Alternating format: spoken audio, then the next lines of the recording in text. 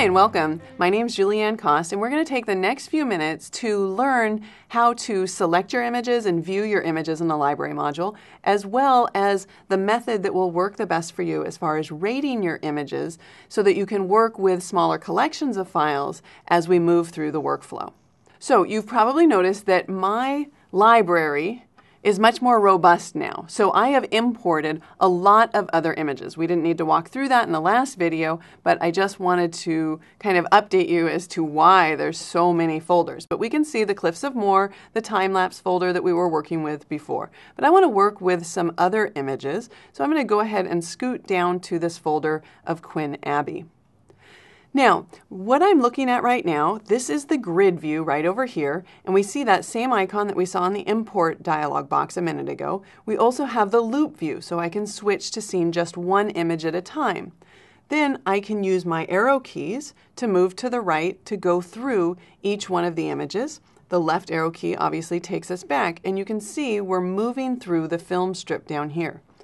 Now, I have a certain kind of number of tools showing down here in the toolbar. Your toolbar might look a little bit different, but you can use this little disclosure triangle in order to either view or hide all of these different options that you can use for example, for sorting your images or flagging or rating them. So that's why yours might look a little different. Okay, so this is loupe view, and the keyboard shortcut for that is E. If I want to scoop back to grid view using the keyboard, I can just tap the G key. So G and E go back and forth. Or if I want to zoom in on a specific image, I can double click on that image. And you'll notice what that took me to is the fit view. Some people like the fill view better, but that always crops your image, so I prefer the fit view. And then you'll notice when I position my cursor in the image area here, it automatically gives me the zoom tool so I could zoom in and once I've zoomed in, and you can see I've zoomed into one to one, that's my default. You can change that if you want to by clicking over here, but I prefer the one to one view. Once I'm zoomed in, Lightroom automatically gives me the hand tool so I can then move around. If I want to zoom back out, I simply click. And if I wanted to return back to grid view, I could double click and that would take me back to grid. Your grid might also look very different from mine, and that's because I've gone under the View menu here, and I've come down to my View options.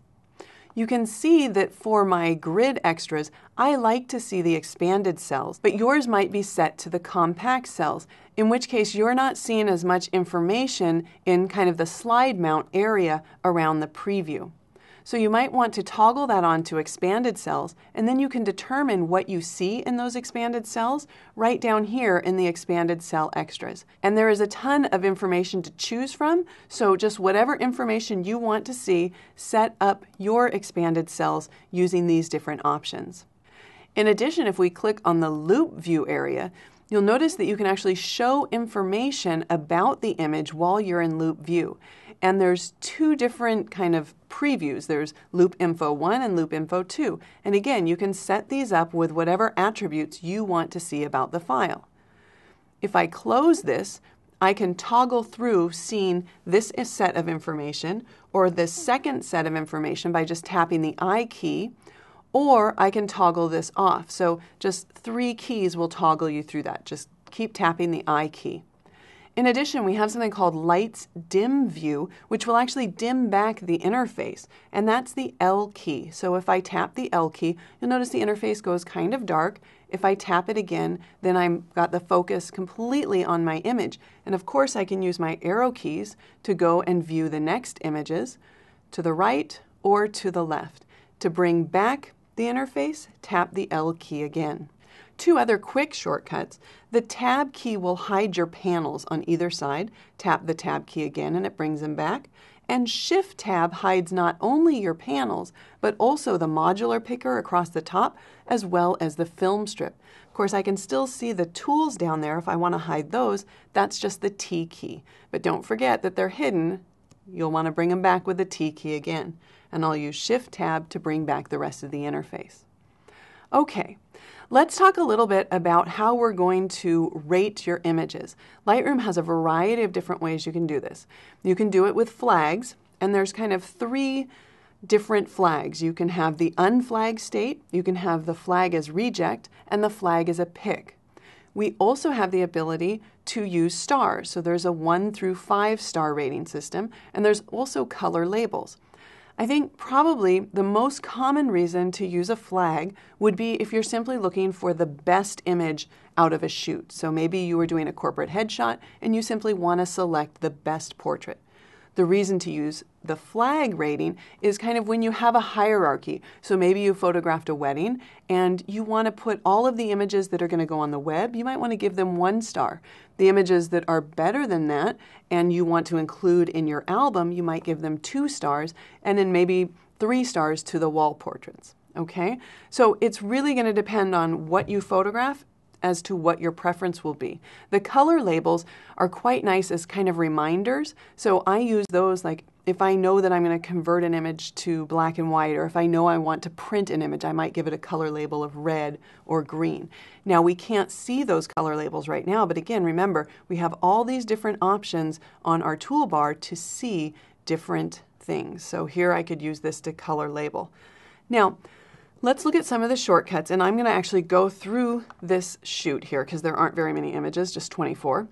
The first image, I always like to take a picture of where I am because that just helps me with keywording later. So in this image, I'm just going to leave it alone.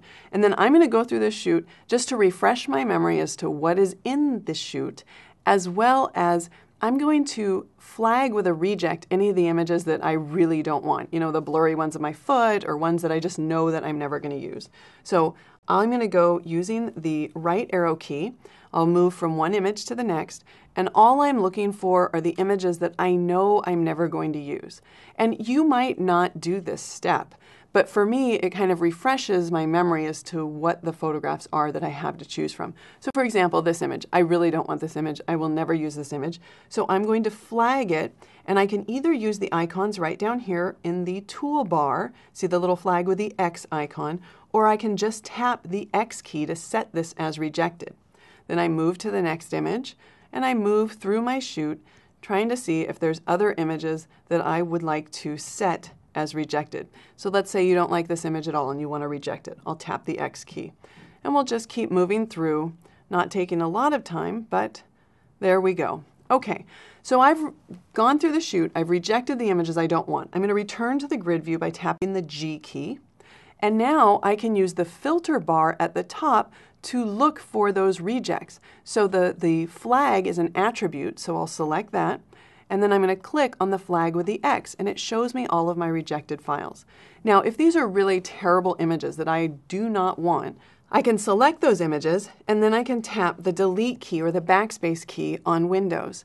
So Lightroom is going to give me two options at this point. I can either delete the images from disk, in which case Lightroom is going to take these photographs and put them in the trash can or the recycle bin, or I can simply remove them from the Lightroom catalog. Remember, when we imported the files, we were really making Lightroom aware of where they were on disk. But we might not want those images to show up in the Lightroom catalog, yet we might not want to throw them away. So if you don't want to throw them away, be sure to choose Remove.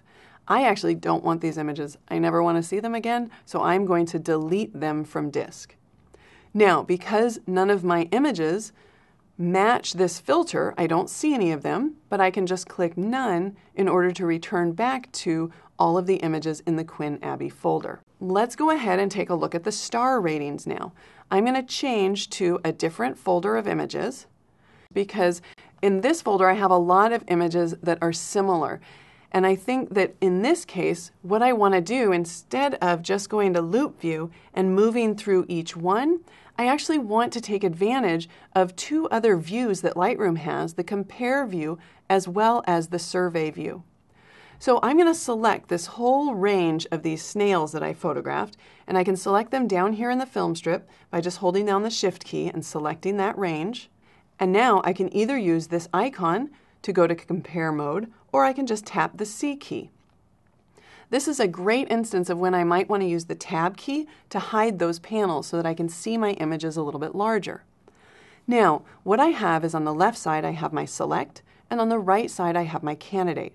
My goal here is to move through all of these images, and as I find an image that is better over here in the candidate, then my select, I'm going to promote my candidate to the select. And we can use these icons and these arrows right here to move through our images and then promote the ones that we like. So I don't really care for either of these, so I'm going to select the next photo. That one didn't quite make it with focus, so we'll go to the next one. I like this image better than my select, so I can either use the up arrow or this icon right here to promote it. And you can see how the pink snail went to the left. Now, I like this image better, so I'll use my up arrow to promote it. Now, on these two images, I would like to check focus, but before I zoom in on it, I want to make sure that the lock is set here so that I will zoom in on both photos.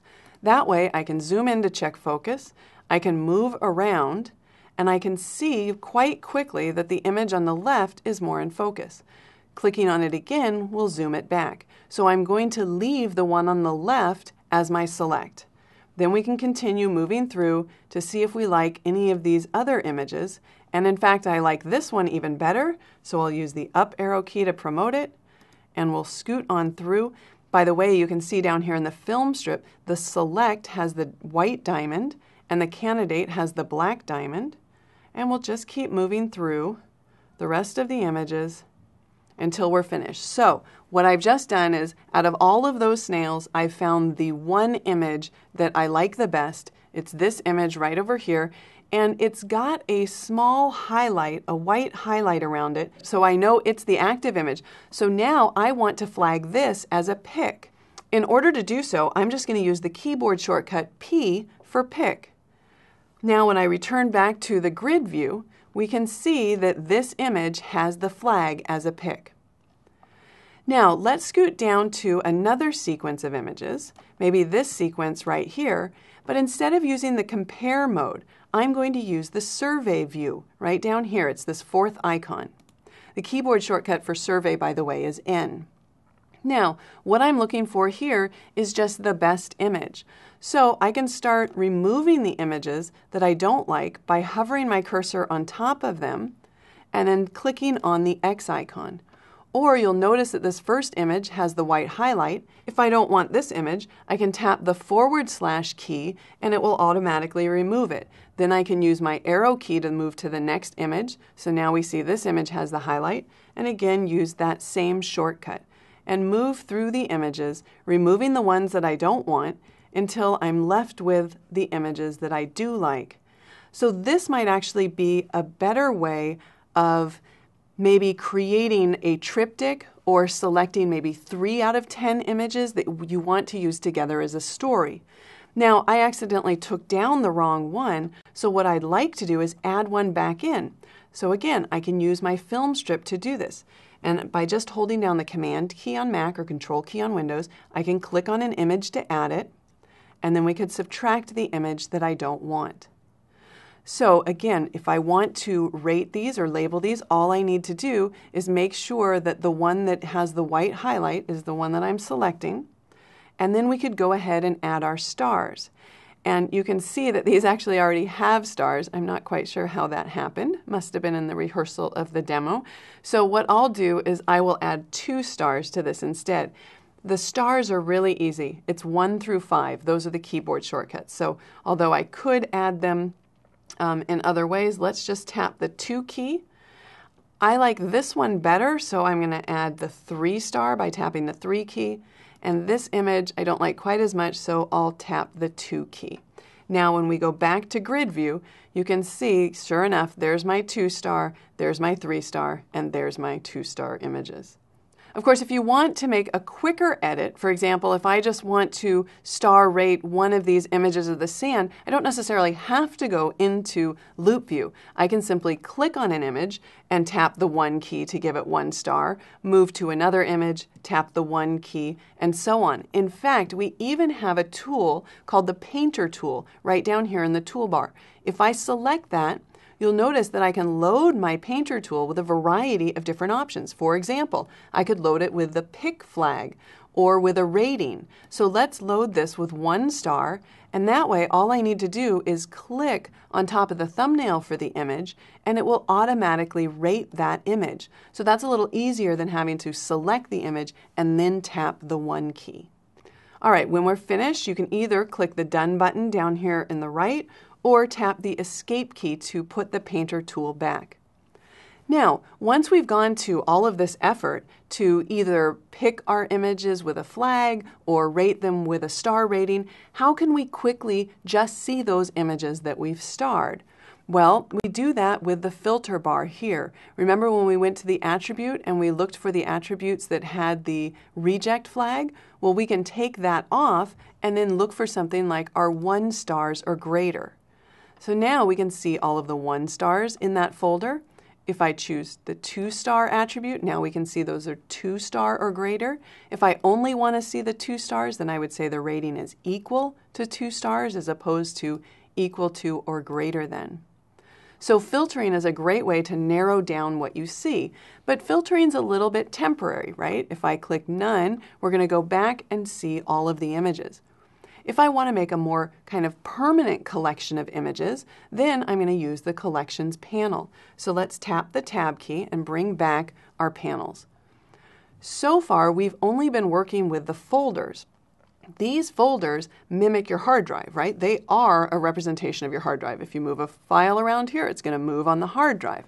That's very different from your collection area. The collection area is all virtual meaning that your photographs are going to stay in the exact same place that they are right now on disk, but you're going to make these virtual collections. Now there's two different kinds of collections, and before I start making collections, I'm just going to use the keyboard shortcut minus to see my thumbnails a little bit smaller so that I can see more images at one time. Okay, now these collections.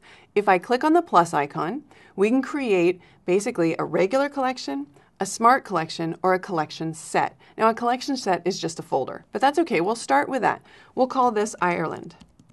That's just my set. It's just a folder that I can put collections in. So I'll click Create. There's the set. It looks like a shoebox. Now we're ready to add a collection. So I'll use the star again and create a collection. And we'll name this collection Ireland Portfolio. I'll go ahead and put it inside of the collection set and you'll notice that it automatically selected the Ireland collection set.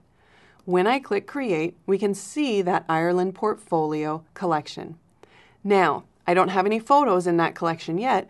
I need to return to the folder area.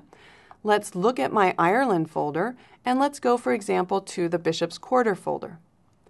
If I like this image, I can select it and then clicking inside the thumbnail for the photograph, we can drag that into the Ireland portfolio. If I like this image, we'll do the same thing. So I've added two images to my portfolio from this Bishop's Quarter folder. But now I can go into my other folders as well, select images that I like, and then drag and drop them into the portfolio. But you have to understand, I'm not moving the images around on my hard drive.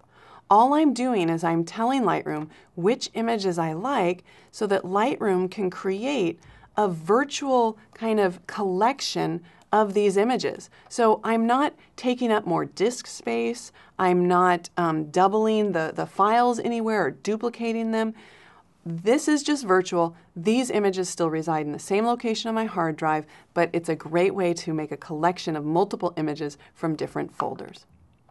All right, that was the first kind of collection. By the way, if you take an image out of a collection, if you decide that this image you don't want anymore, if you just tap the delete key, it only removes the image from the collection. The image is still in the folder, it's still on your hard drive. All right, the second kind of collection is a smart collection. So let's click on the plus icon and then let's select Create Smart Collection. I'm going to name this one star or greater of Ireland. I'll go ahead and put it inside that same collection set called Ireland And now I have all these different search criteria that Lightroom's going to use to automatically find the images that match the criteria and put them in a collection for me. So for example, I want to make sure that my rating is greater than or equal to one star. But if I simply check create right now, it will look through all of my photographs. So right now I haven't isolated this in any way to only look through the Ireland images. So I'm going to click on the plus icon right here. And for my second rule, I want it to only look in a specific folder.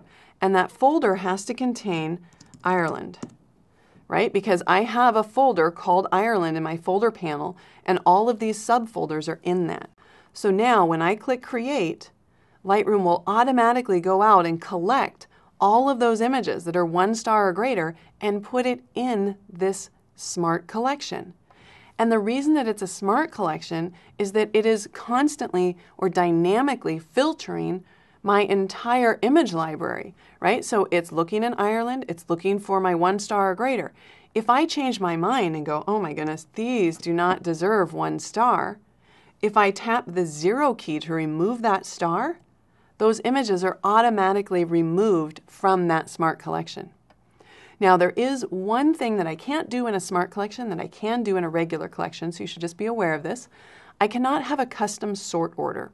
So if I wanted to reorder these images, you'll notice that Lightroom does not support a custom sort order in a smart collection because remember what I said, it was always constantly dynamically filtering all of my images. So if I want a custom sort order, I can still like use maybe the filter menu to find all my one star images, but then I would pull them into a regular collection because in a regular collection I could say, I'm going to drag this image, I want this image to be first, and then maybe this image second, then we'll go to this image third, and that way I'm creating this custom sort order so that I can take this to my other modules like the book module or maybe the slideshow module, and all of my images will be in the correct order. And just one important safety tip because not all of you are going to use collections. Some of you might just want a custom sort order in your folder structure, right? So I'll move back up here to Ireland. You should know that if you're in a parent folder that has subfolders, you cannot have a custom sort order. So see again, I try to move this, but Lightroom says that I cannot. If I move to the child most folder, to the bottom most folder, then I can rearrange my images any way that I want. It's just that if you're looking at this topmost folder that contains all these other subfolders, you know, if you changed a custom sort order in a subfolder, then how would that reflect back on the main folder? So again, just know that you have to be in the childmost folder in order to get a custom sort order. And if you don't want to rearrange your files here in your folder structure, but you do want a custom sort order, simply move down to the collection area, create just a regular collection, and then you can sort these into any order that you want. That wraps up this video on how to sort and view and rate your images. I'm Julieanne Kost. Thanks for watching.